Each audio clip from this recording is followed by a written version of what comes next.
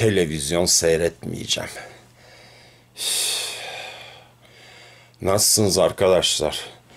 He, geçiyordum uğradım. Belki de uzun bir sohbet olur. Bak böyle alttan veriyoruz açıyı. Bak gıdılar mıdılar böyle. Ee, 94 kilo oldu arıza adamınız. Bir ara ne güzel fittim ittim. Şimdi yani hafif göbekli itim. Ama her zaman itim. Ne yapalım buna da yatak yorgan muhabbeti mi diyelim? Yataktan günlük sohbetler ya da yatak muhabbeti diyelim. Yatak muhabbeti daha iyidir. Hem içinde biraz iç gıcıklayıcılık da oluyor. Pazar ya pazar kafası fark etmiyor bizde.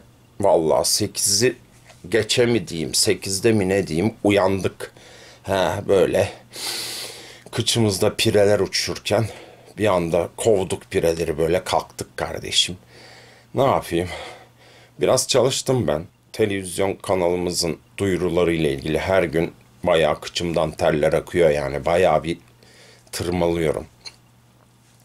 Bir de bu aralar kabıma sığamıyorum. Habire sohbet mi çeksem mi yoksa bütün günümü mü ben acaba yayın haline getirsem falan diye düşündüğüm oluyor. Çünkü öyle bir üretkenlik çılgınlığı içindeyim ki tüm Türkiye'yi spamlayasım var. Öyle bir üretkenlik deliliği içindeyim ki tüm Türkiye'yi spamlayasım var kardeşim.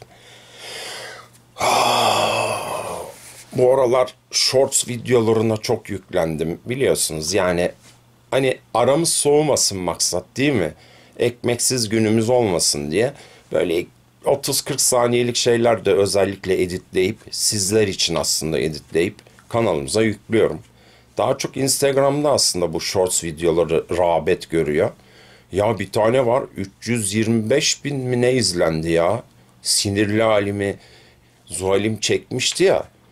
Onun bir kısmını koydum sansürleyip böyle bipleyerek küfürlü yerlerini. Kardeşim en son dün 315 binde 320 bin izlendi. Kardeşim bana sahip çıkın bakın arıza adamınız daha çok meşhur oluyor. Arıza adamınız küllerinden tekrar doğdu. Kardeşim bak kaçırırlar ha. Yani kanalımız sakinleri olarak bana sahip çıkın kardeşim. Yarın öbür gün bir dizi yapımcısı veya bir reklamcı şirket beni alırsa, beni paraya gömerse ben böyle yavşak yavşak videolar çekebilecek miyim acaba? Değil mi yani? Hani insanlar öyledir ya, parayı görünce artık ulaşılmaz ya. Otoboko video çekmezler ya. Alayına giderim kardeşim. Yani bana milyon dolarlık reklam çektirsinler. Hatta beni bir filmde kullansınlar kardeşim. Oradan bir milyon dolar gömeyim. Ben gene böyle olur olmaz saçma sapan videolar en doğal halime çekmeye devam etmezsem şerefsiz çocuğuyum. Gelin yüzüme tükürün. Yani. Oh böyle dedim hem yatalım hem sohbetleyelim ya. İnşallah eşim de kızmaz şimdi. Bu benim kırmızı yastığım. İnşallah yastığımızı da gösterdin diye kızmaz.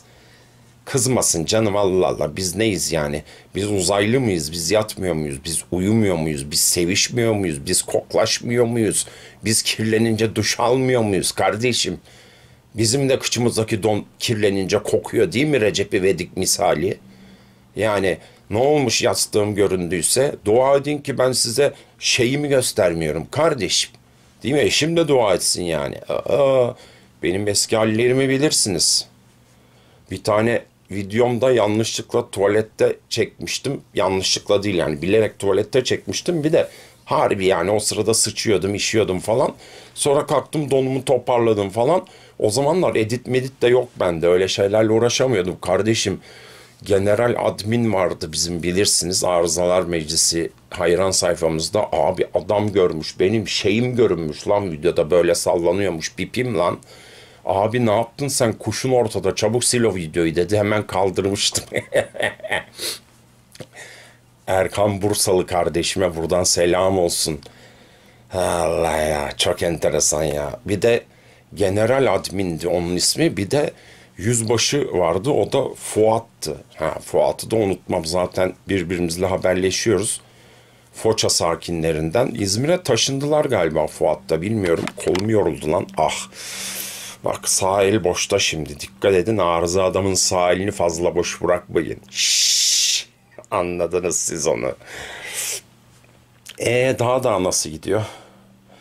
Böyle ay dede gibi suratımı beğendiniz mi? Bak halbuki böyle baksam. Hmm, ya. Ya. Neydi gördün mü kaşları? Ya. Sen de benim gibi gidip Ürgüp'te peri bacalarını gördün mü? Ya. Bir de ben neyi severdim biliyor musunuz? Eskiden beri söylerim hatta bunu. Ah, bir ambulansın içinde tepemde ampul ışığı yanarken Amsterdam'da olmayı severim kardeşim. Tam deli diyeceksiniz gene biliyorum. Yani harbi hele beni ilk izleyenler gerçekten bu adamın hayatla zoru ne falan diyorlar. Yani niye böyle şeyler çekiyor diyorlar. Veya bazıları bu adam ne kullanıyor acaba diyorlar. Benim madde kullanımım pek olmamıştır. Pek diyorum yani bazı tabii garip şeylerim olmuştu ama hiç öyle uyuşturucu işi falan Allah korusun püf, bende olmamıştır. Sinek uçuyordu da. Yani öyle yani tabii değişik şeyler vardı da onlar anlatılmaz yani. Bali mali denemedim de galiba çok şöyle ergenlik döneminde tüp gaz olayım olmuştu. Tüp gaz. Gerçekten onu açmayalım şimdi. Bu çok sakıncalı bir konu. Yani bir faydasını görmedim. Neyini göreceksin lan? En zararlı şeyi gömüyorsun ciğerlerine. Geç o konuyu geç. İşte öyle pazar bugün. Film izleriz. Akşam bir az pansumanımı alırım, uyku ilacımı alırım. Karıcığımı seve seve böyle efil efil uyurum yani yapacak bir şey yok. Her gün benim için pazar kardeşim hadi öpüyorum gıda hadi ben kalkayım da iş güç bir şeyler yapayım gene içeride hadi öptüm herkesi.